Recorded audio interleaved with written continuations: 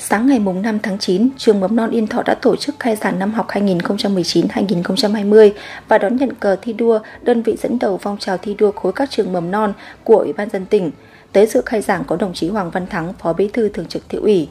Trong những năm qua, trường mầm non Yên Thọ luôn nêu cao tinh thần đoàn kết thống nhất, hoàn thành xuất sắc nhiệm vụ năm học chất lượng chăm sóc giáo dục trẻ từng bước được nâng lên, 29 trên 29 cán bộ giáo viên, nhân viên đạt danh hiệu lao động tiên tiến, 5 đồng chí được công nhận chiến sĩ thi đua cấp cơ sở, một đồng chí được Ủy ban dân thị xã tặng giấy khen, nhà trường được Ủy ban dân thị xã công nhận là tập thể lao động tiên tiến, được Ủy ban nhân dân tỉnh công nhận danh hiệu tập thể lao động xuất sắc và tặng cờ thi đua, đơn vị dẫn đầu phong trào thi đua của các trường mầm non năm học 2018-2019. Để phát huy những kết quả đạt được, năm học 2019-2020, trường mầm non Yên Thọ sẽ tiếp tiếp tục xây dựng đội ngũ gương mẫu, phẩm chất đạo đức trong sáng, có lối sống lành mạnh về nhân cách, trí tuệ, đổi mới phương pháp dạy học để góp phần nâng cao chất lượng giáo dục, xây dựng nhà trường luôn là địa chỉ tin cậy của ngành giáo dục và đào tạo thị xã và các bậc phụ huynh học sinh trên địa bàn. Tại buổi lễ khai giảng năm học mới 2019-2020, trường mầm non Yên Thọ đã vinh dự đón nhận cờ thi đua đơn vị dẫn đầu phong trào thi đua khối các trường mầm non năm học 2018-2019